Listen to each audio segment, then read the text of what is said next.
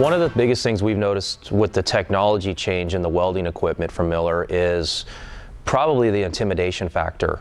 Um, from hobbyist to professional, we have found that with the older equipment, if you can do basic gas welding, you can pretty much TIG weld.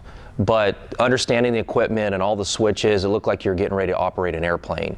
With the newer technology, it is literally one, two, three. It's very simple. All you need to do is turn it on, understand what you're welding, and get to work. I've been using the Diversion 165 for about two years and the 180 a couple of months.